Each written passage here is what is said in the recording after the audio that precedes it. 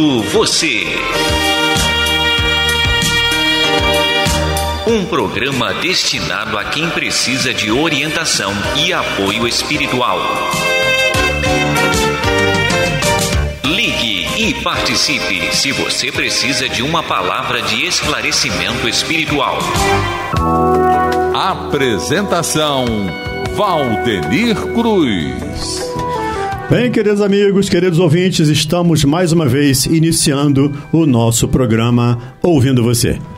E hoje, por ser uma data especial, também estamos fazendo um programa especial. Aliás, eu diria hoje especialíssimo, não só especial, mas especialíssimo.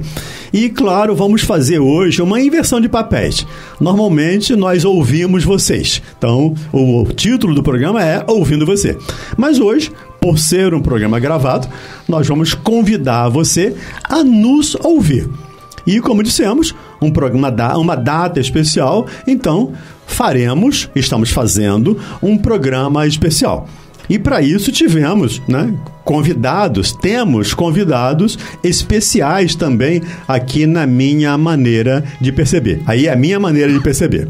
Nós temos o Eduardo Araújo, como convidado hoje aqui, o amigo, psicólogo, irmão, companheiro, trabalhador, enfim, nas mais variadas funções.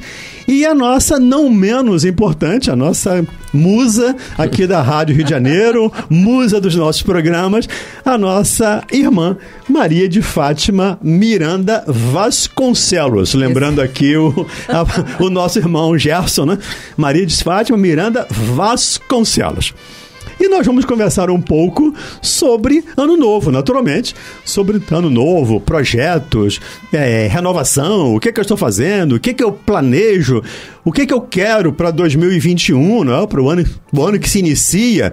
Enfim, essa é a nossa conversa. E vai ser um bate-papo. Não temos hoje, assim, um roteiro tão sério, tão fechado.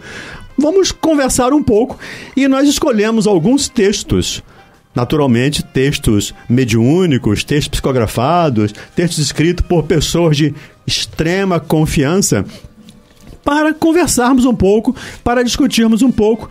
E um dos trechos que escolhemos é um trecho pequenininho, mas assim de uma importância, de uma profundidade muito grande, que é o texto da, um texto da Joana de Ângeles sobre Ano Novo. E ela, ela deu como título Sabedoria do Ano Novo.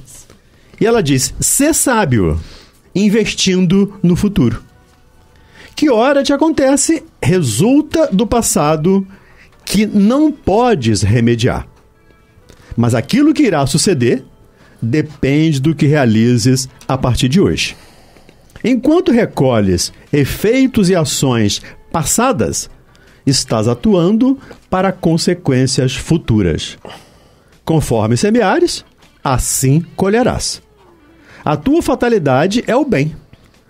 Como atingi-lo será a opção tua, mediante ação rápida ou retardada e contra marchas. Ninguém está fadado ao sofrimento. Este é o resultado da escolha errada.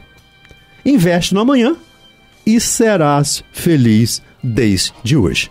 Eu achei esse texto fantástico, é um texto que nos convida a uma reflexão, e é claro que é isso que nós vamos fazer com vocês, ouvintes, convidar a essa reflexão. Né?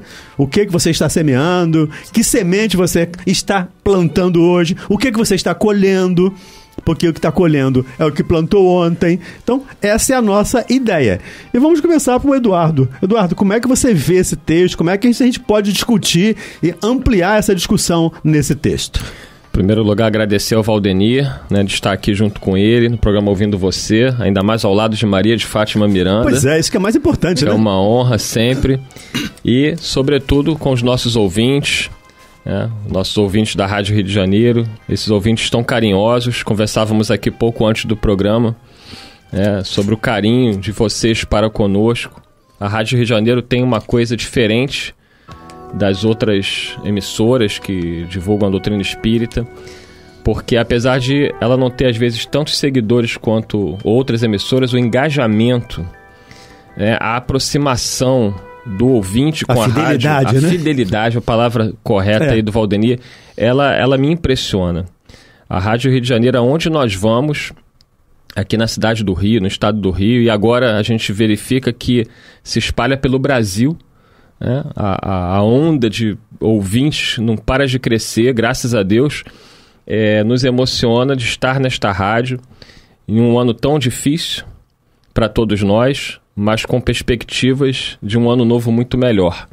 Né? E Joana de Ângeles vem falar sobre a sabedoria do ano novo. E ela, a primeira frase dela é: ser sábio investindo no futuro. É, avaliando até em termos psicológicos, né, Valdemir? A gente sabe que nós, seres humanos, temos uma tendência a olharmos muito para o passado e nos culparmos. É, a gente lembra do passado com muita culpa pelos nossos equívocos e vivemos presos no presente em relação às angústias e às ansiedades. E aí parece que a gente não tem futuro. Ou quando as pessoas olham para o seu futuro, elas imaginam algo muito nebuloso, Tenebroso. tenebroso. E vivemos tempos de notícias muito difíceis, né? Então, as pessoas ficam presas a essa ideia de que tudo vai piorar e ah, aumenta-se nesse, nesse cenário o número de pessoas com depressão. Né? nós temos visto aí esse ano uma explosão de casos de depressão, síndrome do pânico, né? os transtornos de ansiedade em geral, as fobias. Diante desse cenário, como a Joana fala, que a pessoa, ao invés de investir no futuro, ela olha para o futuro de uma forma muito negativa presa ao passado, repito, com as culpas e vivendo um presente de angústias. Parece um cenário do é, o, ce- caos. é o cenário do caos. É o cenário do caos. Aí vem a mensagem de Joana, né, mas sobretudo a mensagem do Cristo, nos conclamar a esperança, nos conclamar a assumirmos a responsabilidade pelo investimento né, no nosso futuro. A palavra investimento é uma palavra que nós conhecemos. A gente Sim, investe na sim. poupança, né? A Miranda aqui tem muitos, muitos haveres, ela investe Sim, em ações é. na bolsa Ações de na valores. bolsa. Então é, é- é- são níveis diferentes, né? Eu, coitadinho de mim, eu só invisto em pagar minhas dívidas. Não consigo investir nada além disso. Mas esse investimento que ela fala é na nossa vida. E para investir na nossa vida, a gente não pode investir baseado nessas informações, muitas vezes catastróficas, eh, previsões tenebrosas que são feitas em relação à nossa vida, à nossa sociedade, e esquecendo do principal, que é o Evangelho do Cristo. Jesus nos conclama sempre a ter esperança no melhor. A boa nova é a boa notícia.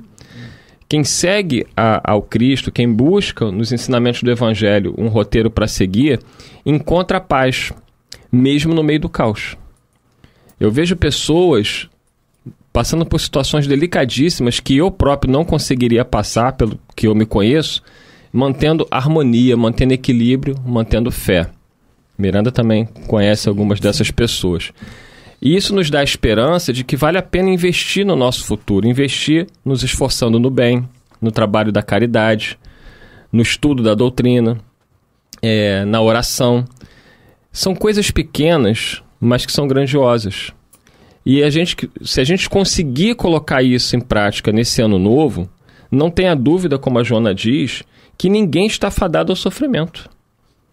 Nós estamos é, fadados a sermos felizes, independente das situações, porque a felicidade ela não depende de fatores externos, ela está dentro, ela, Ela, não está ela fora. diz aqui, a tua fatalidade é o bem. É o bem. Isso.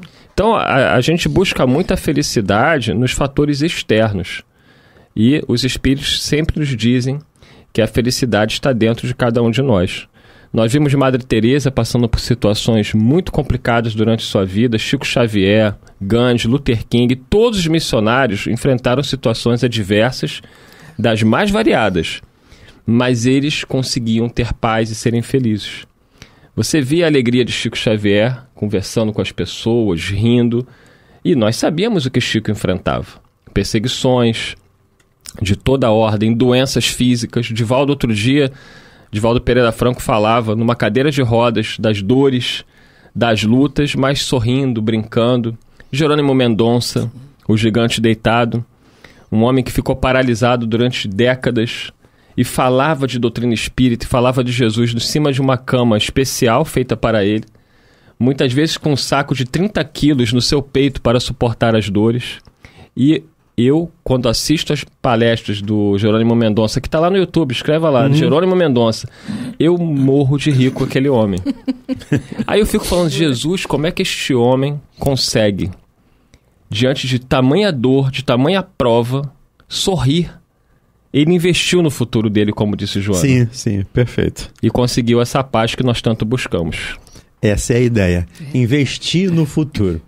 E como fazer isso, Fátima? Maria de Fátima Miranda, você que é especialista em Joana, tem um Deus programa que fala que, Olha, que fala do estudo da Joana. A nossa necessidade dela é tamanha.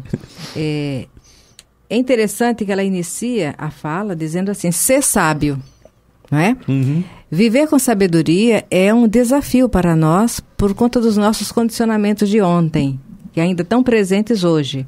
Mas viver com sabedoria é colocar em prática a condição de seres inteligentes que nós somos, não é?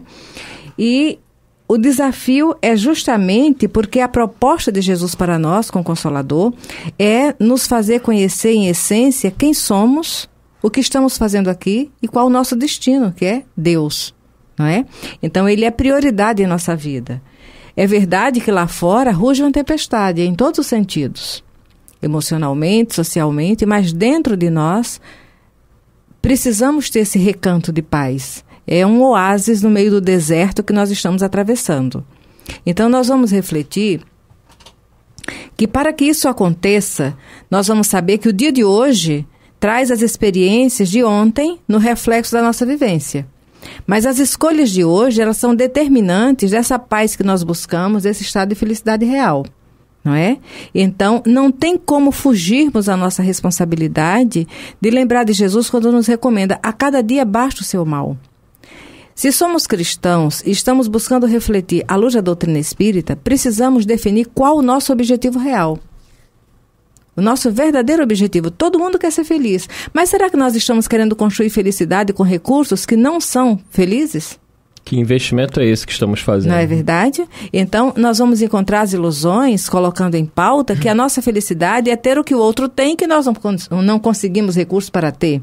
E estar no lugar que o outro se encontra quando não temos capacidade para estar ocupando aquele lugar.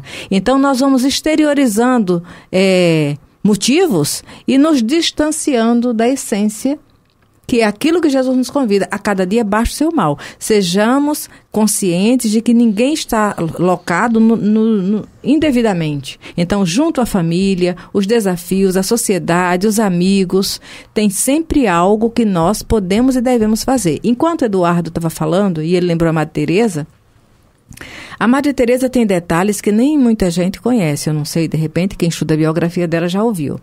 A Madre Teresa, ela teve o pai assassinado. Ela ficou órfã, o pai assassinado, e a mãe, ela não tinha recursos, então ela fazia trabalhos domésticos, tipo geleia, coisas assim, para vender e manter a integridade da família. Foi, uma, foi um assassinato envolvendo situações políticas lá na Albânia.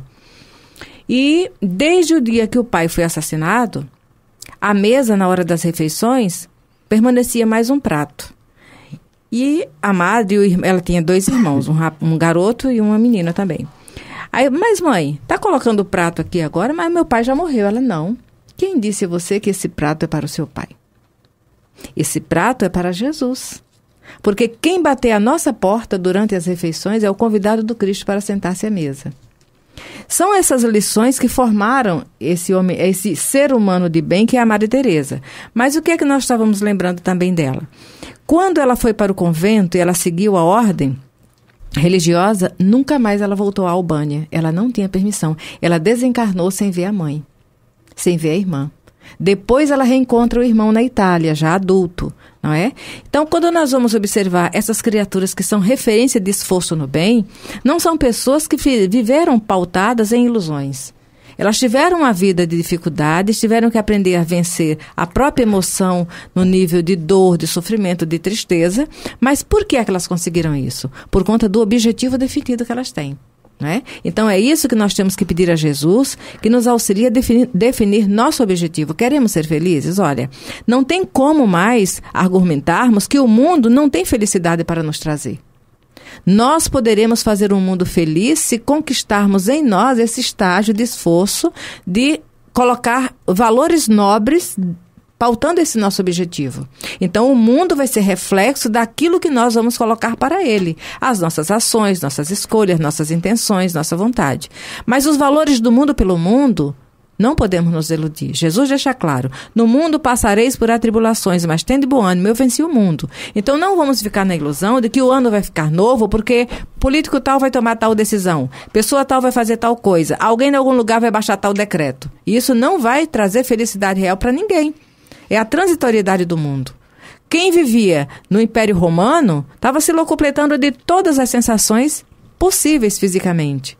Iludidos julgando-se superiores e infelizes. Onde eles estão agora? Não é? Então, a doutrina espírita, a mensagem do Cristo para nós é essa.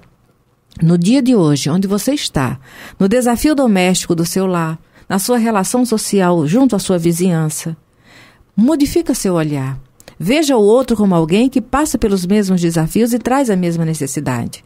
Então, o que você pode contribuir para modificar para melhor o contexto social em que você se encontra, dentro e fora do lar? Eu não tenho muito a oferecer, mas você pode dar um sorriso para alguém. Você pode ter um pensamento de bondade para alguém que está totalmente desacreditado. Você não vai entrar na ingenuidade de confiar que todo mundo é anjinho e que merece credibilidade. Mas veja o outro como alguém que Jesus está aguardando por ele também. Né? Modifica o seu olhar perante você mesmo, a sua família, seu objetivo, suas tarefas simples, sabe? Aquela comida que você faz ali para atender a sua família. Para qualquer outra pessoa pode ser uma coisa banal, mas o amor e o carinho, a dedicação que você coloca naquele gesto vai fazer diferença. Você sabe quantas refeições mais você vai poder fazer nesta encarnação para os seus afetos?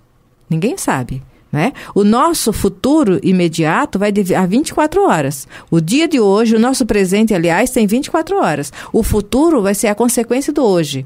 Então, saiamos dessa ilusão que felicidade vai ser exportada, que alguém vai trazer de lá e vai dar para nós. O controle remoto da nossa felicidade vai estar nas escolhas que nós fazemos e no bom direcionamento do nosso pensamento, nas emoções que nós nutrimos. Vocês têm amigos do lado, vocês têm alguém que ama.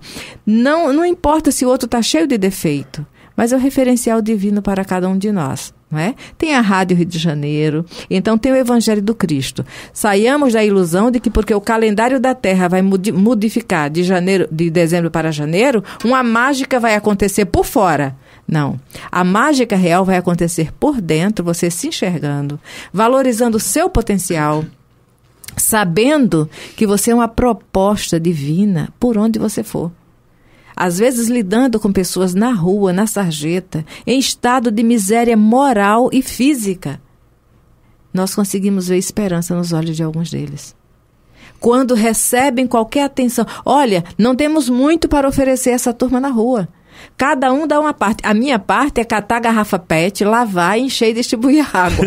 Mas olha, uma garrafa de água filtrada para alguém que passou a noite em abandono. Não vamos questionar as situações que os levaram a cada uma daquelas coisas. Mas aquela aproximação, entregando a garrafa d'água, desejando bom dia, em algumas, em algumas situações que outro não veria nada, eu consigo ver esperança alegria. Muito obrigado. Alguém que dormiu, está com sede, não importa como é que foi sua noite, mas tem um grupo que saiu de casa, tem um distribuindo sopa, outro distribuindo refeição, feijão, arroz, o que for meio-dia, outro distribuindo pão com manteiga, mas à sua volta dentro de você tem algo que só você pode fazer. E esse vai ser o nosso futuro, vai ser o nosso ano novo. Um ano que tem uma duração de 24 horas, porque é neste período de hoje, que é presente, que nós precisamos chamar Jesus para fazer parte. É, enquanto você estava falando, eu estava lembrando aqui do investimento. A Joana chama muito essa, essa fase aqui do investimento. Investe no futuro. Né? Ser sábio investindo no futuro. E ela tem toda razão, porque ela não está falando teoricamente, Sim. né?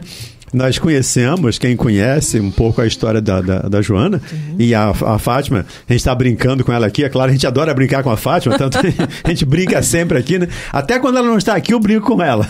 Eu fazendo um programa, ela não está aqui, a gente está brincando. Mas a Fátima faz um programa aqui, né? Sobre as obras de Joana de Ângeles. E nós estudamos um pouco da biografia da Joana, tem livros que tratam disso, o pessoal vai é. querer saber qual o dia e horário do programa, Valdemir. Ah, sim. Ah, as segundas-feiras, não é? Todas as segundas-feiras, das 17h30 às 17 55. 55. Isso. Então, é um programa maravilhoso porque falar da Joana, a Joana para mim ela é fantástica. Ela é uma psicóloga assim das mais para na minha percepção a mais importante, Sim. né? É claro que a gente fala das mais importantes. A mais importante para mim. E o investimento que ela nos sugere aqui é o investimento que ela fez. Né? Ela investiu nesse futuro ela não, não buscou uma felicidade, como a Miranda estava falando, aquela felicidade momentânea ou lá fora. Sim. A felicidade que está lá fora. Ela se submete a um, a um processo muito doloroso que eu, honestamente, exemplo do Eduardo aqui, eu não me submeteria se alguém chegar aqui e nega o Cristo que eu mato teu neto, não, Cristo não existe. Eu vou, eu vou, eu vou negar o Cristo, que ele me perdoe depois eu vou trabalhar para recuperar isso. Mas eu não teria condições de fazer o que a Joana fez, de submeter ao que a Joana submeteu. Ver seu próprio filho né, ser queimado. Meu Deus, eu não consigo nem imaginar. Então, quando ela fala de investir no futuro, ela está falando com autoridade. É. Né? E lembrando que a primeira obra da Joana junto ao Divaldo, Mestre de Amor. Quando nós fomos estudar essa obra, quando nós estudamos, observamos que ela deixou todo um alicerce ali. Então, toda a obra da, da Joana está né, alicerçada, calcada, ali. calcada no livro Mestre de Amor. E ali ela vai tratar de todos os assuntos que nós precisamos despertar para eles e vai nos mostrar como lidar em cada situação. E tem aquela página que nós não esquecemos, a importância do evangelho no lar. No hum. lar material e no lar interior, em nossa, nossa casa mental. É, esse, esse lar é que é importante, que muitas vezes nós acabamos esquecendo dele, né? O Eduardo estava falando aqui da, das dificuldades em função da, do, do momento que estamos vivendo, da, do pânico, fobia, e eu tenho atendido muita gente com enormes dificuldades, inclusive com ideação suicida, muitas pessoas com ideação suicida, e as pessoas acabam se esquecendo de que elas, ou nós, né, somos um templo de Deus. Nós somos o templo. Lembrando aqui a carta de Paulo, né? O, o Cristo, nós somos as cartas vivas, deveríamos ser as cartas vivas do Evangelho. E quando eu leio isso, deveríamos, como Paulo diz, né? Somos a carta viva do Evangelho. Eu, eu vejo em Joana essa carta, Sim. eu vejo em Joana essa mensagem. Eu vivo esse evangelho. A Joana vive, ou viveu esse evangelho plenamente. Então, quando eu leio qualquer texto da Joana, eu leio assim com admiração, com respeito. E me permitam a palavra, um pouco inapropriada aqui, mas eu vou utilizá-la. Um pouco de idolatria. Eu gosto muito da Joana, porque eu fico assim entusiasmado, eu ia usar uma palavra mais feia, mas não vou usar não, Pela, pelo texto da Joana, porque ela é muito competente, ela é muito sucinta, ela é muito capaz de nos transmitir essas lições. Assim, o texto daqui, gente, tem seis, seis, seis linhas, seis, sete linhas. A gente ficaria o, horas aqui falando. Pois é, ficaríamos horas falando sobre isso aqui. E já estamos fechando aqui praticamente o primeiro bloco do programa. Valdenir, só um detalhe. Quando você diz assim, fala de idolatria, aí nós não imaginamos você idolatrando o espírito, quer dizer, a hum. forma, hum, hum Joana, hum, né? Mas o conteúdo. O conteúdo, a bagagem, o trabalho, é o esforço. A essência de sentimentos é, que ela traz. A, o esforço dela. Né? Eu idolatro esse esforço, essa capacidade que ela tem né, teve e continua tendo, obviamente, né, de se imolar. Porque o termo é literalmente, né? Ela se imolou pelo Cristo. Então isso é muito importante e eu admiro demais isso aqui. E já estamos fechando aqui, já ouvimos uma musiquinha aqui que o Cleve colocou pra gente aqui. Vamos fechar aqui esse primeiro bloco. E no segundo, a gente volta com um, bloco, com um, um, um texto do Chico Xavier, também falando sobre Ano Novo. Ok? A gente volta em alguns minutos. Um abraço, até já. Pela Rádio Rio de Janeiro, programa Ouvindo Você. C. C. C. Pela Rádio Rio de Janeiro, programa Ouvindo Você. Apresentação Valdenir Cruz. Olá, prezados amigos, prezados ouvintes, estamos de volta, ouvintes e seguidores também das nossas redes sociais. Estamos de volta com o nosso programa Ouvindo Você, um programa hoje especial, como eu disse no primeiro bloco, especialíssimo. Estamos gravando um programa gravado para ouvir, não hoje não é para não ouvir, mas para que você nos ouça. E estamos aqui discutindo textos dos nossos amigos espirituais, dos nossos espíritos iluminados aqui, que nos falam sobre Ano Novo. No primeiro bloco, falamos aqui de um texto da Joana, que é importantíssimo.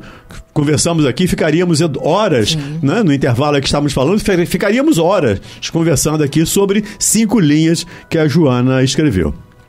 E tem um, um, um, um título, um, caramba, um texto, né? Um texto do Chico Xavier intitulado Renovação, que também é muito importante, é muito oportuno que nós nos coloquemos nessa situação aqui para saber o que que eu estou fazendo em termos de autorrenovação.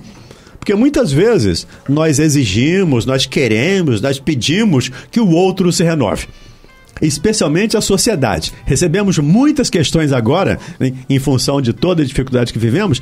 Será que a sociedade vai mudar? Será que as pessoas vão melhorar? Será? Será? Será que eu vou melhorar? Então a pergunta terá que ser individual, singular. O que que eu estou fazendo para me melhorar? Porque o Eduardo tem que fazer a parte dele, a Fátima a dela, o Kleber tem que fazer a dele, cada um de nós tem que fazer a nossa parte. Então, essa é a ideia, é o convite que passamos a você hoje para reflexão desse ano novo. E o título do, do, do texto, como disse, é renovação. E o Chico nos diz que ano novo é também renovação de nossa oportunidade de aprender, trabalhar e servir. Só que já ficaríamos um, mês discutindo isso aqui. Mas a gente, vamos ler o texto, que também não é, não é, é longo, para a gente depois conversar um pouco mais, frase por frase, digamos assim. O tempo, como paternal amigo, como que se reencarna no corpo do calendário descerrando-nos horizontes mais claros para a necessária ascensão para a necessária subida, elevação. Lembra-te de que o ano em retorno é novo, é novo dia. A convocar-te para execução de velhas promessas que ainda não tiveste a coragem de cumprir. Meu Deus. eu, velhas promessas que eu não tive ainda a coragem de cumprir. Se tens inimigo, faze das horas renascer-te o caminho da reconciliação. Se foste ofendido, perdoa, a fim de que o amor te clareie a estrada para frente. Se descansaste em demasia, volve ao arado de tuas obrigações e planta o bem com destemor para a colheita do porvir. Se a tristeza te requisita esquece-a e procura a alegria serena da consciência feliz no dever bem cumprido. Novo ano, novo dia. Sorri para os que te feriram e busca harmonia com aqueles que te não entenderam até agora. Recorda que há mais ignorância que maldade em torno do teu destino. Não maldiga nem condenes auxilie a acender alguma luz para quem passa ao teu lado na inquietude da escuridão. Não te desanimes nem te desconsoles. Cultiva o bom ânimo, os que te visitam, dominados pelo frio do desalento ou da indiferença. Não te esqueça de que Jesus jamais se desespera conosco.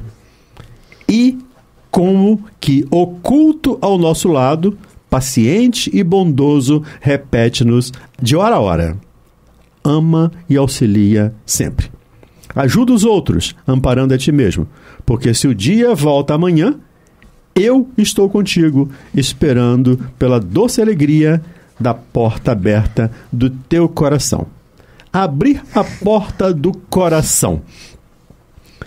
Renovação, oportunidade de aprender, de trabalhar, de servir, de recomeçar, de reconciliar. Fátima, como é que a gente faz tudo isso, Fátima Miranda? Não é, menina? Menina, Olha, como é que a te gente faz tudo contar. isso? Você que é um espírito assim mais iluminado, Só assim Jesus mais na causa. Pirilampo. mais, mais elevado, nos dá essa, nos dê essa receita aí, mulher Fátima. Menino, vou te contar. Porque o tempo é o talismã divino. Não é? Quando bem aproveitado. E nós sabemos que o desafio para cada um de nós é fazer é modificar o nosso comportamento. São muitos condicionamentos. Quando ela fala, se descansaste demasiado, sair da inércia. não é? é. Sair dessa Eu inércia. adoro descansar, me senti até mal com isso. Pois é, menino. Então, para que nós possamos fazer tudo isso, não adianta querer fazer projeto para a próxima semana. Tem projetos que são cabíveis da próxima semana. Daqui a um mês, daqui a um ano, não é? E Espírito Superior programa assim, quatro mil anos depois, e dá conta, assinadinho embaixo. Mas se nós soubermos no dia a dia aproveitar bem aquilo que nós já sabemos, olha, quando nós conseguimos identificar o que o outro deixa a desejar em relação a nós, é porque já podemos fazer algo pelo outro. Não é? Se temos essa lente que nos permite identificar onde o outro não está atendendo o que nós gostaríamos, é porque aquilo que nós gostaríamos de receber já podemos começar a colocar em movimento em relação ao outro. E esse exercício não vai ser fácil. Vai ter dia que você vai conseguir um pouquinho mais. Ai, ai, Jesus, voltou tudo atrás. Não, não voltou tudo atrás. A lição, a experiência ficam. Não é? E nós vamos nos esforçando. Tudo que nós já havíamos falado na primeira parte do programa. Não é? Não querer é, mágica, nem achar que só com recurso. Não, idealizar um recurso que não é real na sua vida. Então, dentro das situações que você vive no dia a dia, coloca mais luz, coloca mais alegria. Ao seu lado tem alguém que depende do teu exemplo. Nós estamos sendo observados de perto, quando não por encarnados, por desencarnados. Ah, mas eu não tenho nem familiar, não tenho filho, não tenho isso, não tenho aquilo, não tenho nem vizinho, ou às vezes não me relaciono com ninguém. Mas nós temos uma nuvem de testemunhas e ela, essa nuvem, faz a diferença no nosso contexto emocional. Porque se nós entrarmos no desânimo, na descrença de nós mesmos, abrimos porta para o pânico e depressão. Eu gostei muito dessa fala, dessa frase dele, que o tempo como paternal amigo, como que se reencarna no corpo do calendário, descerrando nos horizontes mais claros para a necessária ascensão, para a necessária subida. Eu achei isso aqui fantástico, porque é uma nova oportunidade que Isso, está tava chegando. pensando nessa palavra, oportunidade. É, é a nova oportunidade que está chegando para que eu reveja tudo que eu deixei de fazer, né? né? Eu- Como descansou aqui o Ed- o Eduardo, que adora descansar, né? Né? Tudo que eu descansei. que Eu adoraria. Pois é. Só não consigo, É. mas eu adoraria. É, que eu reveja tudo isso e é uma grande oportunidade que se dá a cada um de nós. Então, Eduardo, como é que a gente pode fazer para, nesse ano que está começando agora, planejar uma coisa mais factível?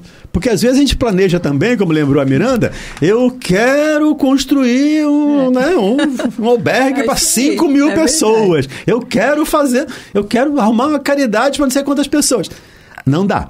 Factível. Como é que a gente pode aprender, trabalhar e servir? Como é que a gente pode, nesse ano que se inicia, começar esse novo projeto, um novo projeto, mas, de novo, factível? É, vou fazer um link aqui com três, três páginas, né? Uma de Allan Kardec, a mensagem da Joana que lemos e essa do Chico. E você já tinha dito, acho que o que é mais factível para nós é começar a mudar a nossa vida. Se a gente conseguir melhorar um pouquinho A nós mesmos. a nós mesmos já vamos estar bem. Porque a Joana, no texto que acabamos de ler, vamos fazer os links. Ela fala que a tua fatalidade é o bem. Então isso é maravilhoso. Eu sei que independente de qualquer coisa, a nossa destinação é nos tornarmos espíritos puros. É a lei do progresso. Quanto tempo vai levar é que é outra história. Sim. É? Uns chegam mais rápido, outros demoram mais. É igual um aluno na escola. A gente sabe que todos em algum momento vão conseguir se formar. Mas tem gente que se forma um tempo esperado. Tem gente que demora um pouquinho, tem gente que demora muito. Tem gente que para, aí depois volta. Então, aí depende de cada um, mas todos chegarão no objetivo. É, porque a fatalidade é o bem, né? É, Sim, isso também é uma sim, coisa interessante, né? A fatalidade é o bem. Isso é muito, muito É a visão otimista que as pessoas é, não pregam. né? Normalmente se prega a visão pessimista. E a visão que os espíritos trazem é o seguinte: ó, vocês chegarão lá. E Jesus é mais otimista ainda, dizendo: vós sois deuses. Uhum. Olha, olha como Jesus nos coloca num patamar. É claro que ele- a gente tem que entender o que ele quis dizer, mas Claro, é. a essência divina está em nós. E, E podemos Jesus- fazer tudo que ele fez, né? Gente, é emocionante quando ele fala: brilha a vossa luz. Eu, eu mestre falando para que brilhasse a nossa luz, porque por mais que seja uma, uma lamparina bem um fraquinha, como né? lembrou aqui a Fátima. mas já é alguma coisa, é porque a gente tem essa, esse potencial dentro de nós. E a Joana fala, nós lemos, como atingi-lo será a opção tua, mediante ação rápida ou retardada. Então, quer dizer, ela diz que para a gente chegar no objetivo, nesse investimento do futuro, as ações ou elas vão acontecer de uma forma mais rápida, pelo nosso esforço, questão 909, 910 e 11 de O Livro dos Espíritos, onde os espíritos colocam que a gente faz poucos esforços, e às vezes por pequenos esforços nós poderíamos conquistar grandes coisas. E aí o Chico começa falando aqui que o ano novo é também uma renovação de nossa oportunidade de aprender, trabalhar e servir. Então, linkando as duas coisas, Kardec vai falar no Evangelho segundo o Espiritismo, no capítulo 5, Bem-aventurados aflitos, itens 4 e 5, que a maior parte dos nossos sofrimentos, né, é, a gente imagina o seguinte: ah, eu sofro, estou pagando o que eu fiz no passado. Olha, os espíritos deixam claro a Kardec ali, Kardec coloca que a maior parte das dores que enfrentamos são consequências de atos desta vida São causas atuais das aflições. causas atuais. Então, se nós conseguirmos essa renovação que o Chico nos conclama, e essa renovação, como disse a Miranda, são nas pequenas coisas. A gente tem o hábito de fazer grandes projetos. É, é claro que você participar dos trabalhos de caridade da casa espírita, levar a sopa, levar o alimento é importante, claro que é. é. Você ajudar um companheiro em dificuldade, mas se não houver uma renovação interior, esse é que é o desafio. O nosso maior desafio né, para o ano novo, para todos os dias desse ano novo, a partir desse momento que nós estamos agora escutando esse programa, é a renovação interior. E aí ele vai fazer uma série de propostas aqui. Ele vai falar se você tem inimigos. O ideal era que nós não tivéssemos inimigos. Que alguém nos tenha como inimigo, a gente não tem como evitar. Mas nós não precisamos ter inimigos. Se temos, precisamos buscar né, reconciliar com esse adversário enquanto estamos a caminho com ele. Eu sempre falo que eu estava conversando com a minha esposa sobre isso. Tem pessoas que efetivamente eu não tenho uma relação próxima, que já me fizeram algum mal. Então eu não procuro essas pessoas. Mas se elas me procurarem e precisando de ajuda, eu tenho que estar aberto para Sim, ajudá-las. sim, com certeza. É. Você tem amigos que são muito próximos e tem pessoas que a gente sabe que precisamos manter certa cautela. Não precisamos é, ficar totalmente expostos a essas pessoas que às vezes são ignorantes, né? ainda não conhecem o que nós conhecemos e praticam atos que nós sabemos que são é, não adequados com aquilo que a gente quer para a nossa vida hoje. Isso não quer dizer que a gente, em se apresentando oportunidade, não as ajudemos. Isso aí, Eduardo, me, me, me, me leva lá para o capítulo 12 do Evangelho segundo o Espiritismo, né? que é um capítulo que discute amai os vossos inimigos. E, se não me engano, o item 3, final do item 3, né? Kardec nos diz lá que amar os inimigos, eu vou usar aqui as minhas palavras, obviamente, né? eu não tenho o texto da cabeça, o texto exato eu não tenho. Mas amar os nossos inimigos, é, o, que, o que o Chico propõe aqui, essa reconciliação, não é conviver com eles, Sim. não é convidá-los a jantar na minha casa ou eu ir jantar com eles, né? Dar as costas para eles, porque em função da ignorância que eles ainda têm, e, e a, a, grande parte da maldade não é maldade, é ignorância, né? Diz, diz o Humberto de Campos lá no Boa Nova, aliás, diz Jesus, né? O Jesus diz isso lá no, que a, a, os grandes males, o grande mal que nós fazemos ainda é por ignorância, não por maldade. Então, essa reconciliação aqui, né, que o Eduardo está lembrando aqui, Se alguém vem a mim, ok, eu preciso estar aberto para essa reconciliação. Eu preciso estar apto, né, disposto a me reconciliar efetivamente. Porque amar os inimigos, diz lá Kardec, é não desejar o mal, é fazer o bem se for possível, é auxiliar, é não guardar rancor, é uma série de coisas que o Chico nos conclama aqui a fazer. Não, não, não no ano novo, né? no ano novo que se inicia, mas no homem novo, talvez, Sim. que precise se iniciar. É isso, Fátima, por aí? Enquanto, enquanto você está falando, eu lembrava.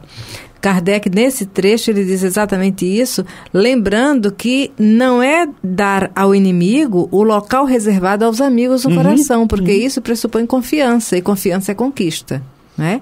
E certa vez, falando sobre essas coisas com alguém, da nossa relação diária, aí a pessoa falou assim: ah, mas não é. A gente tem que, tem que. O grande desafio é esse: tem que estar lá junto, tem que não, não pode se afastar do outro, mesmo sabendo que é tudo isso. Eu falei: pois é, mas olha, quando Maria e José estavam cuidando de Jesus, o que foi que Gabriel falou? Saiam, vão para o Egito. Ele não convidou um confronto, porque Herodes não estava aberto para isso não é? Uhum. Então fica essa reflexão para nós. Não é ficar refratário à necessidade do outro e a oportunidade de auxiliar, mas sim nos fortalecer. E essa aproximação dificulta esse fortalecimento, não é? Nos fortalecer para que na hora da necessidade do outro você possa atender como ele é digno, como irmão. O nosso, a, a grande luta para nós é que o, o inimigo verdadeiro de cada um de nós é o desconhecimento de si mesmo. O desconhecimento de si mesmo gera um estado de coisas que aí você vai desenvolver situações e ações que vão complicar sua relação com o outro. E você vai construir inimizade por fora.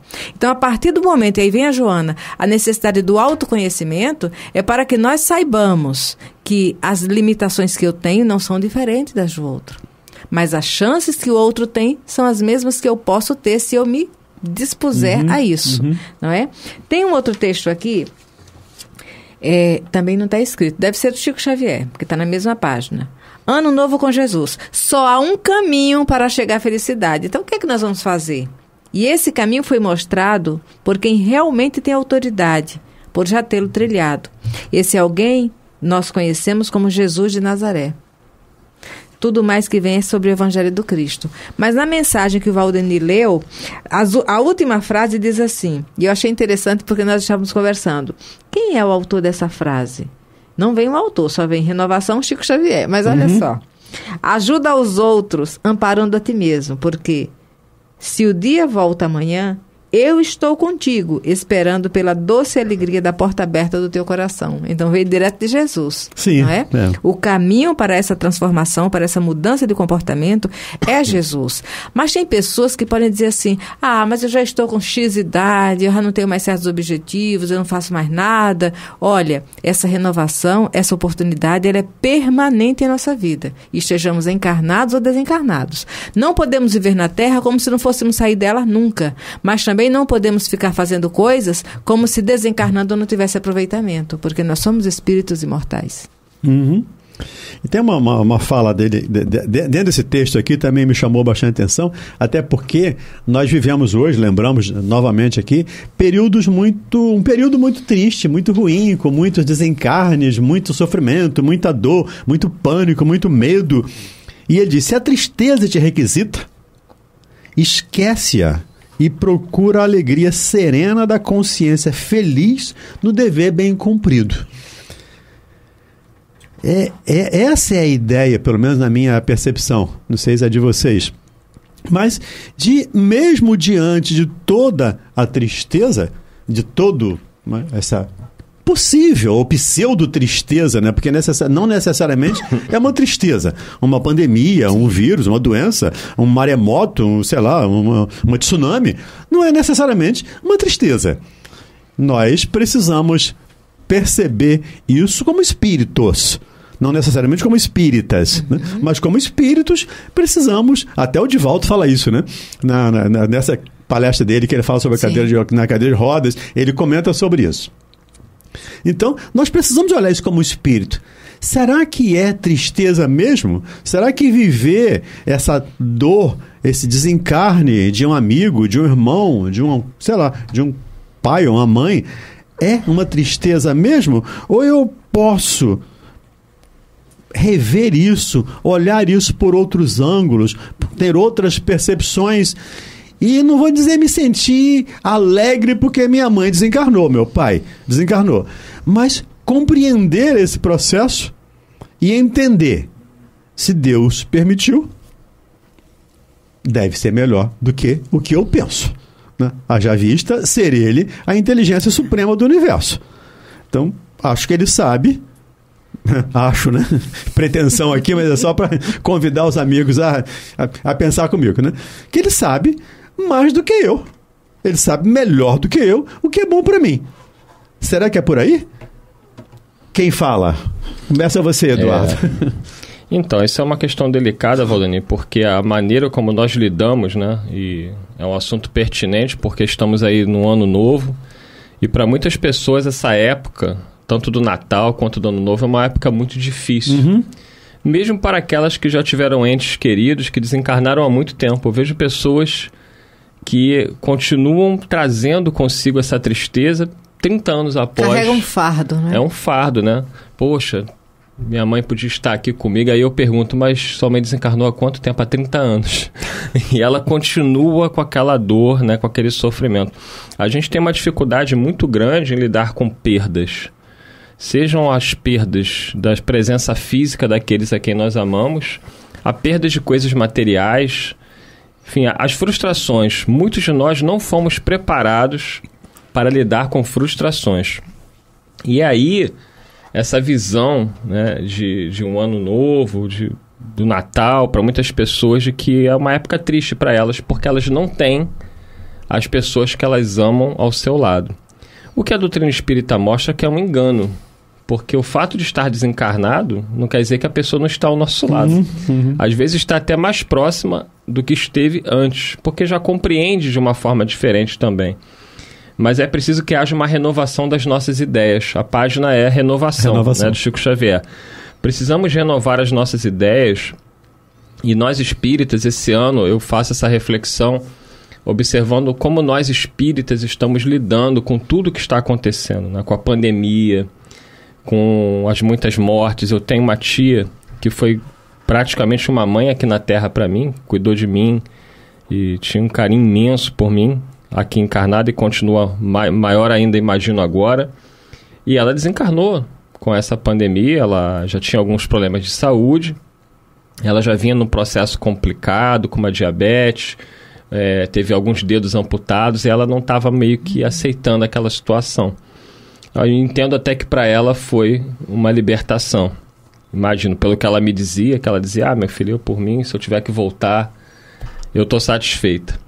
E ela realmente acabou voltando.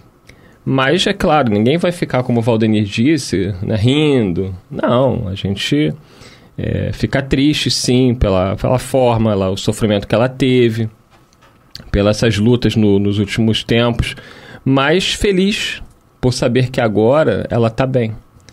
É, é, a doutrina espírita traz essa consolação, ela traz essa certeza. Não é uma, ah, será que é? Não, a gente tem certeza, não há dúvida. E eu volto à reflexão sobre nós espíritas, né, que nós temos que fazer nesse ano, já que buscamos essa renovação. O espírita, antes de tudo, ele tem que confiar. O Valdenir citou a frase de que se Deus permitiu, é porque tá tudo certo. E parece que nós, às vezes, esquecemos disso. Nós não confiamos. Eu vi muitos companheiros espíritas ao longo desse ano é, completamente desequilibrados pelo medo do vírus, né? pelo medo da morte, da morte de quem a gente ama, como se a nossa vida e a vida de quem nós amamos estivesse à mercê de um vírus e do acaso. Coisa que nós entendemos, estudamos, é, aprendemos de uma forma clara que não existe o acaso. Eu posso não desencarnar com o vírus, mas posso desencarnar com uma bala perdida, ou melhor, achada, uhum. eu posso ter um infarto, eu posso ter. Enfim, a gente pode ter uma infinidade. O nosso corpo é de uma fragilidade. Sim. Eu que trabalhei no meio médico muitos anos da minha vida, e até hoje tenho relações, eu fico olhando e falo, meu Deus, quanta doença, quanta coisa que a gente nem sabe que pode. A gente pode dormir bem e amanhecer cego Eu trabalhei com oftalmologia anos e anos. Você pode amanhecer paralisado. Você pode amanhecer morto. Então, é, a vida é de, uma, é de uma fragilidade, a vida física é de uma fragilidade imensa.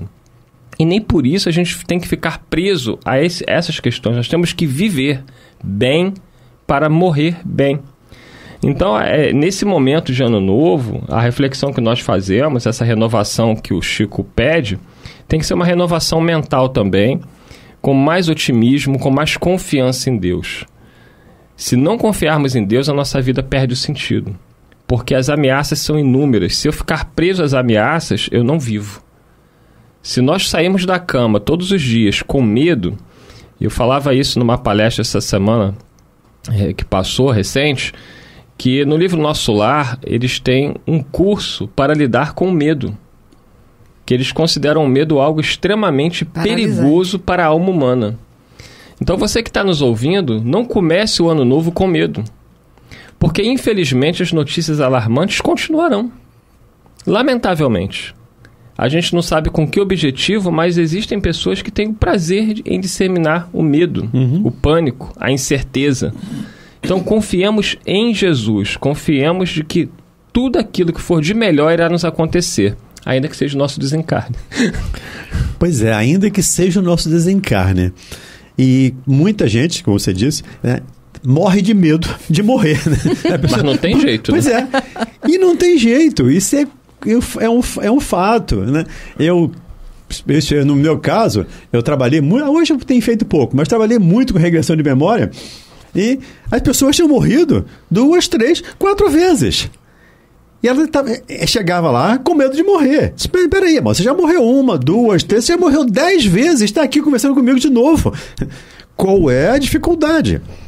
É claro que a gente entende que isso é um processo, é cultural, todo esse medo é cultural, mas eu acho que realmente é um bom convite que o Eduardo acaba de fazer de planejar para o, o ano novo ou para o eu novo, menos medo.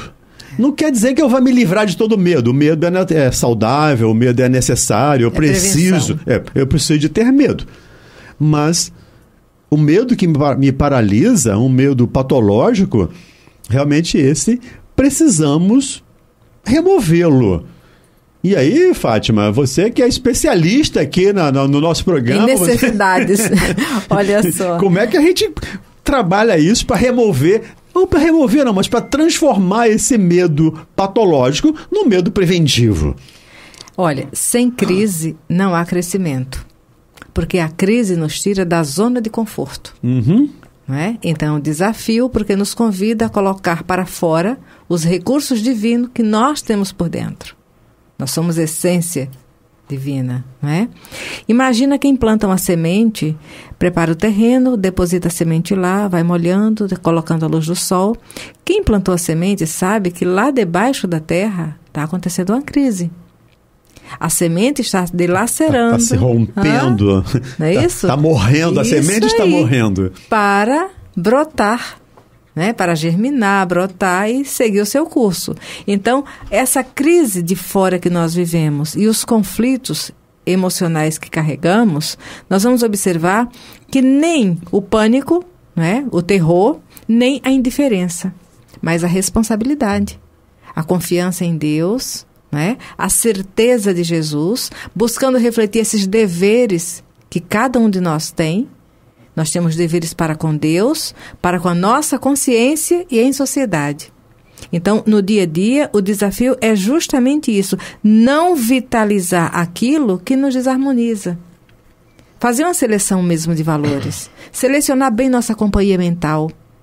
Os filmes que nós vemos, as músicas que ouvimos, a palavra que ouvimos e que falamos aos outros, não é? As emoções que nós nutrimos, buscar simplicidade. Nós vamos observar que essa pandemia e outras situações que a humanidade terrena vem enfrentar não são para aniquilar a humanidade.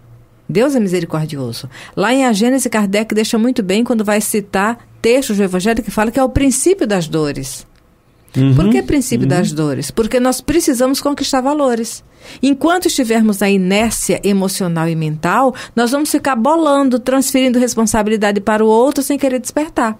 Então, o despertamento para a nossa responsabilidade, os nossos deveres básicos, colocando alegria, lembrando sempre que tem alguém desejando estar no nosso lugar.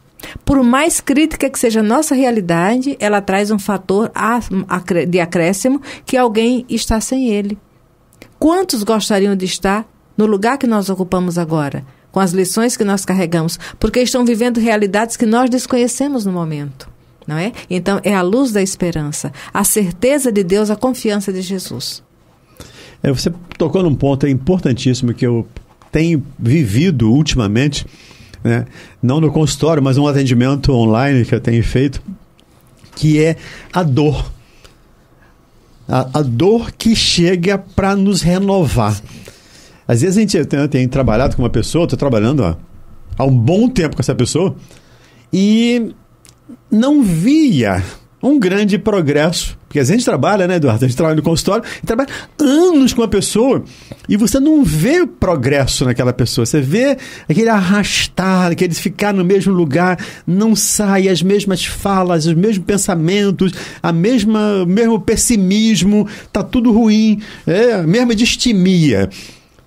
E aconteceu um, há pouco tempo comigo um fato que achei interessante, que vale trazer aqui até para reflexão. Eu recebi uma mensagem do, no celular, mensagem do WhatsApp. Né? Estou me despedindo. Vou me matar hoje. E claro que aquilo me tirou. me tirou o chão, né? Eu falei, Meu Deus! E eu não tenho telefone dos familiares. Eu não vou pedir telefone dos familiares para as pessoas. Como é que a gente vai fazer? E aí eu respondi a mensagem, liga o computador pra gente conversar. Não quero falar. Estou só me despedindo. Já deixei a carta pro fulano, Beltrano, Beltrano, já fiz todas as minhas despedidas e estou indo hoje. É claro que nessa hora, meu Deus, eu tenho que me apegar com Deus, com Jesus, com os santos, com, com todo mundo que possa me ajudar, que pudessem me ajudar naquele momento.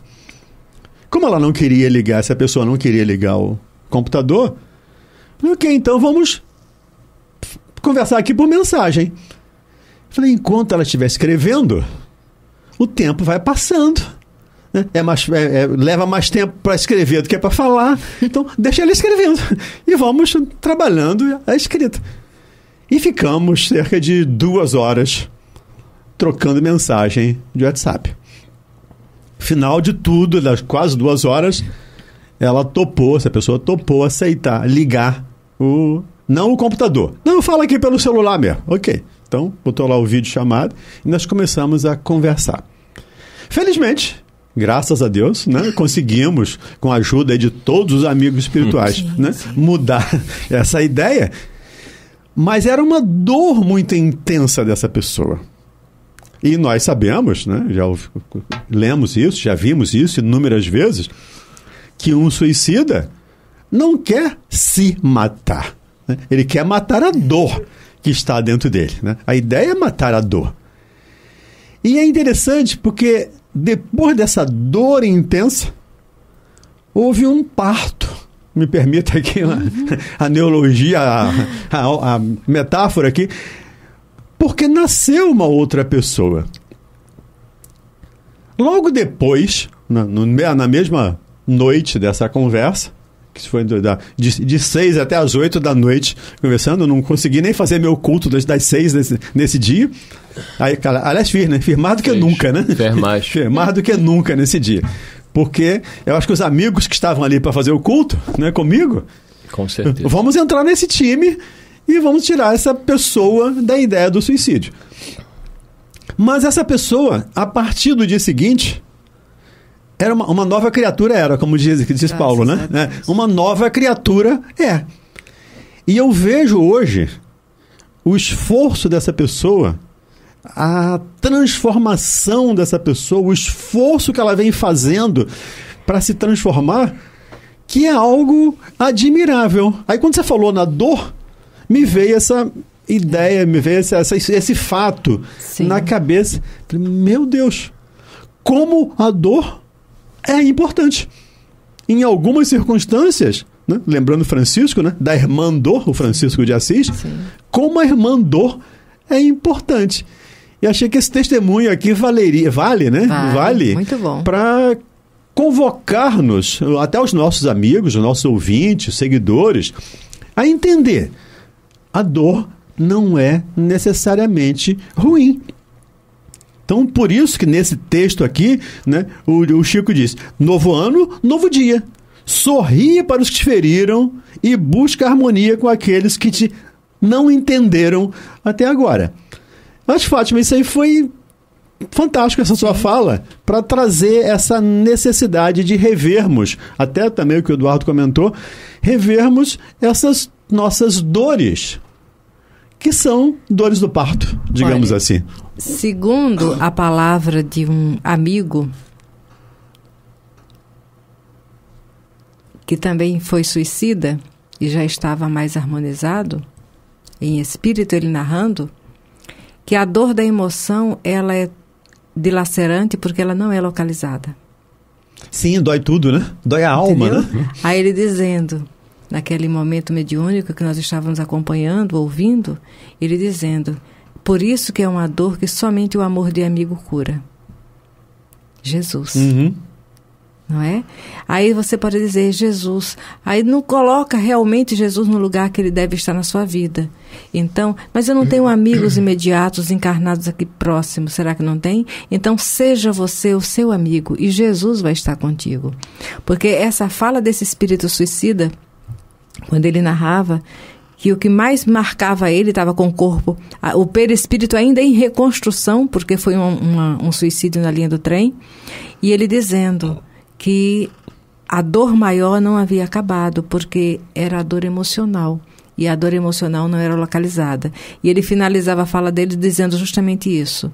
É uma dor que somente o amor de um amigo pode curar. Aí ele falava de Jesus e seguiu a comunicação. Então vamos nos lembrar disto, não é? O coração de cada um de nós é um canteiro do Cristo na terra. Por mais inquieta que esteja a nossa realidade emocional neste momento, vamos tentar colocar essa paz em nós. E lembramos Francisco de Assis na proposta dele, não é? Quando Francisco vai atender Inocêncio II, é aí que surge a mensagem de Francisco de Assis na, na, na oração. É, Inocêncio já não está mais com a evidência da coisa do papado, porque ele está leproso, e só tem um cajado onde ele se segura. E Francisco, quando olha para ele, só pústula, mal cheiroso, ele eleva os braços, eleva o olhar para o céu, abre os braços e começa a exteriorizar, Senhor, fazei de mim um instrumento de vossa paz. Enquanto ele vai fazendo isso, vai, vai falando a oração, a- os lepromas de Inocêncio II vão fechando. E quando ele termina a oração, Inocêncio está curado da lepra. Não é? Então, nós temos que saber que está ao nosso alcance os recursos necessários para que essa dor emocional ela tenha um fim. Essa temos que aquietar por dentro, pacificar, não é pacificar o mundo exterior, mas pacificar o nosso mundo emocional, o nosso mundo mental. Quantos recursos nós temos na Terra hoje? Tem o terapeuta, tem a casa espírita, tem o evangelho, tem a mensagem, mas tem um amigo do Cristo, que é o nosso anjo guardião, atento para nos auxiliar a organizar esses valores nobres em nós. E aí, falando sobre a dor, não tem como não lembrar de uma mensagem que está inserida no Evangelho segundo o Espiritismo, capítulo 9, item 7. O espírito que assina é um espírito amigo, mas segundo Divaldo Pereira Franco, esse espírito amigo é Joana A de Anjos. E ela começa dizendo o seguinte, que a dor é uma bênção que Deus envia aos seus eleitos. É isso mesmo que vocês ouviram. A dor é uma bênção que Deus envia aos seus eleitos. Não vos aflijais, pois, quando sofrerdes. Antes, bendizeis de Deus onipotente, que pela dor neste mundo vos marcou para a glória do céu. É aí algum ouvinte novo da rádio vai falar assim: meu Deus, esses espíritas são malucos, São malucos." realmente. Eles pregam a dor. Não é São isso. masoquistas. São masoquistas. Masoquistas, não é bem assim. É porque a dor ela tem esse poder, como diz o nosso amigo Aloysio Guigino, é, é o despertador. Ela desperta. É, é, o nosso orgulho e o nosso egoísmo são muito fortes. E muitas vezes, para atenuar a força do orgulho e do egoísmo, só a dor. Se não fosse a dor, nós estaríamos perdidos. Porque a dor mostra a nossa fragilidade.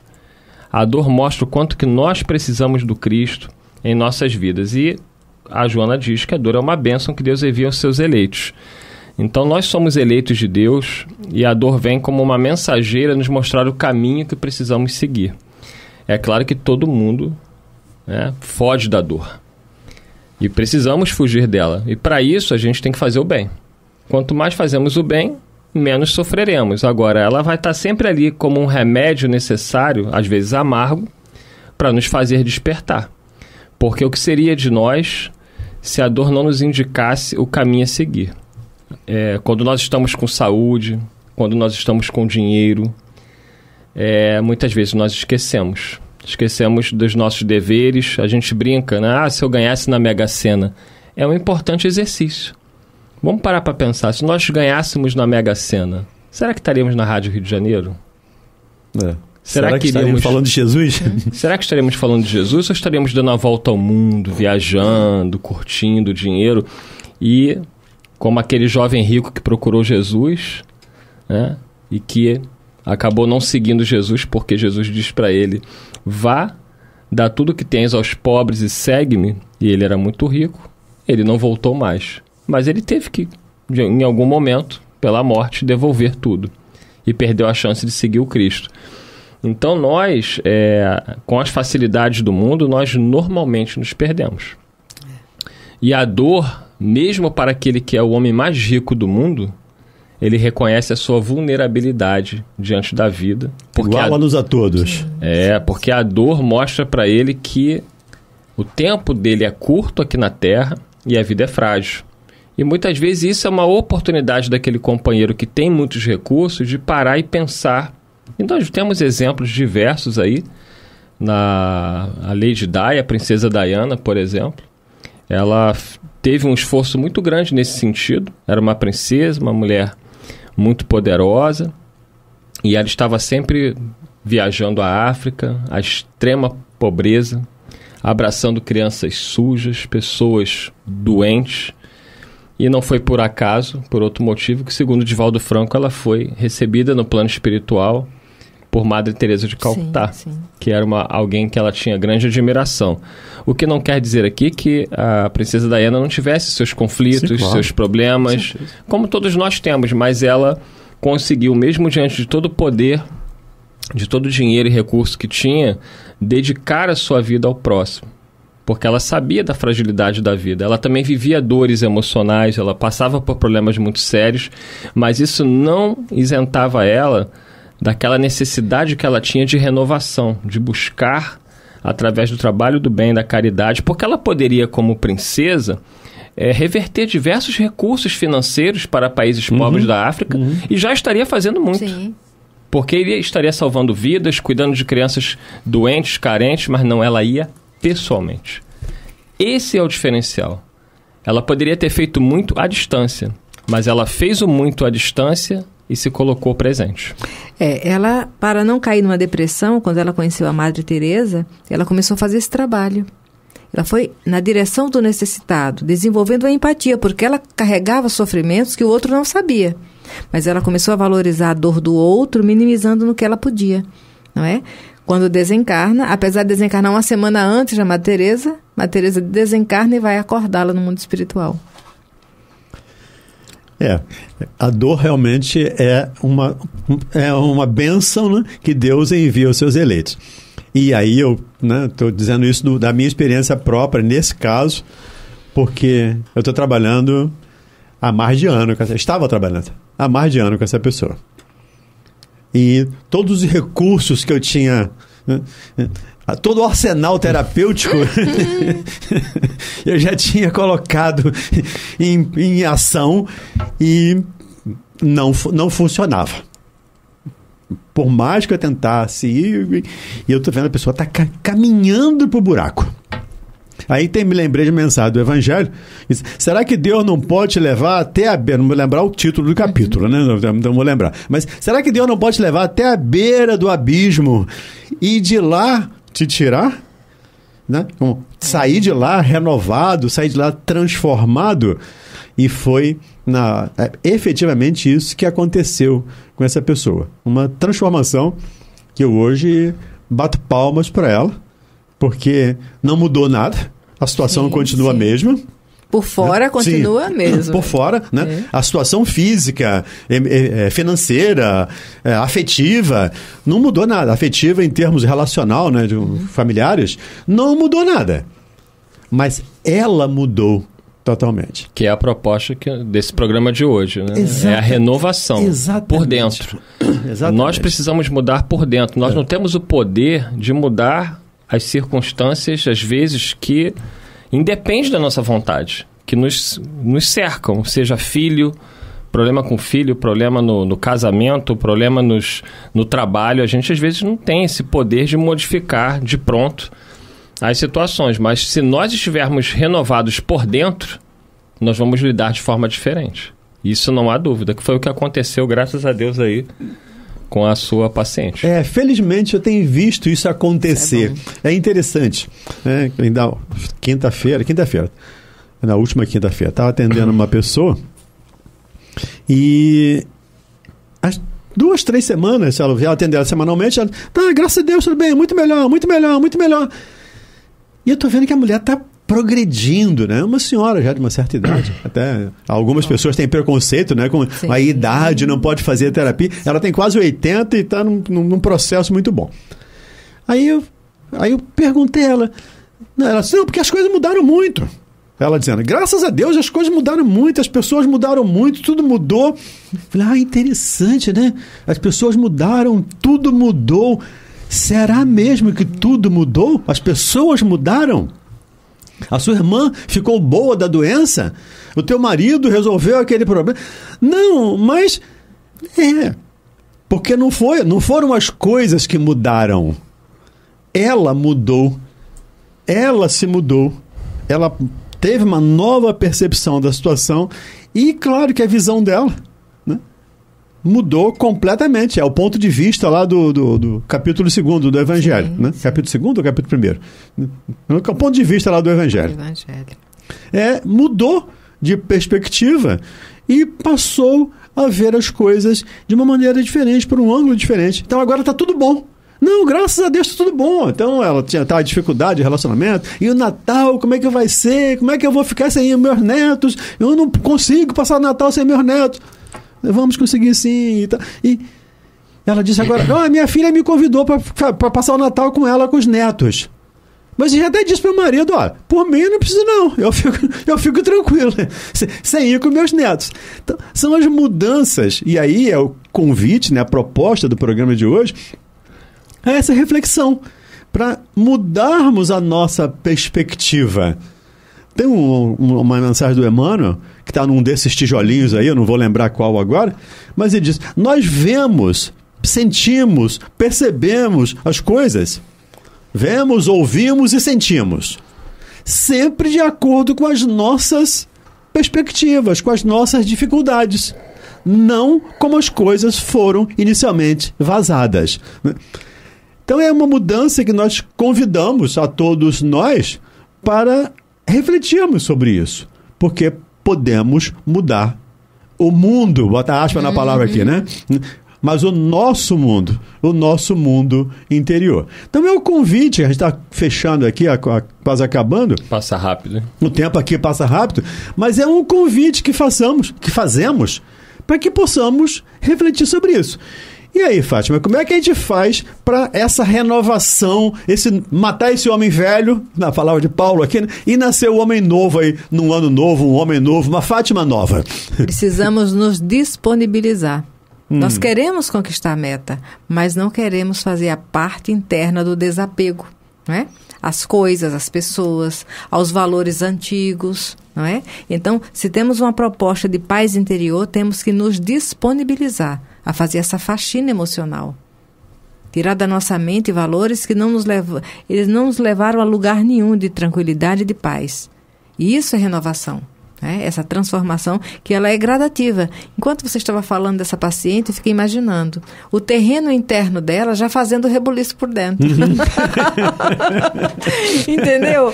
E a bichinha chegou num ponto que vou morrer, não quero mais nada. Mas é, é porque estava no ponto máximo para fazer a virada. Uhum. Deus abençoe. É.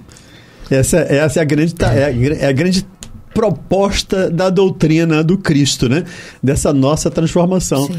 Por isso que aquela questão 919 lá do livro do Espírito, eu cito ela quase todos os dias, em todos os lugares que eu vou, eu cito a questão 919, porque é o Kardec perguntando, né? Como nós podemos nos transformar já nesta vida?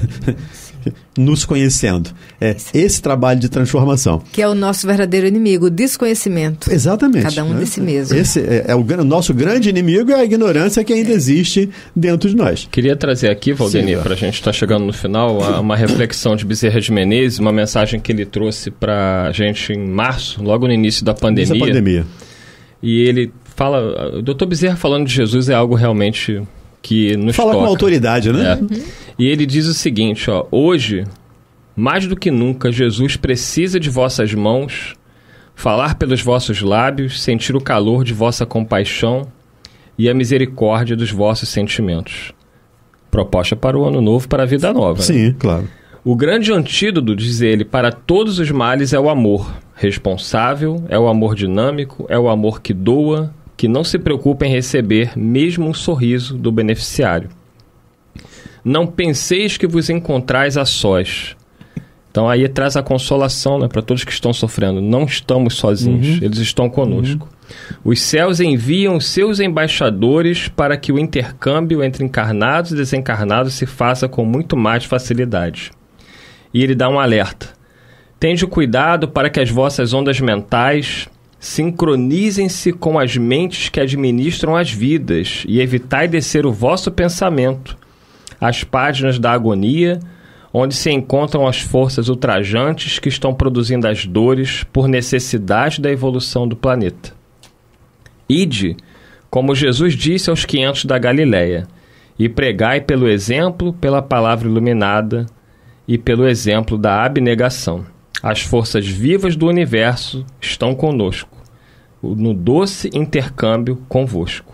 Ide e amai. Então aí a belíssima mensagem, que é a mensagem que o Chico também termina dizendo ama e auxilia É exatamente sempre. isso. É, eu estava fazendo um link aqui exatamente é. com isso. Quer dizer, cultiva o bom ânimo com os que te visitam, dominados pelo frio do desencanto ou da indiferença. E não te esqueça que Jesus jamais se desespera conosco. Sim. E como que oculto ao nosso lado, você não está sozinho, diz aí o doutor Bezerra, paciente e bondoso, repete-nos de hora a hora. Ama e auxilia sempre. É, esse é o caminho né, que nós precisamos trilhar é o convite que fazemos para o novo ano, né? O novo que, que se inicia.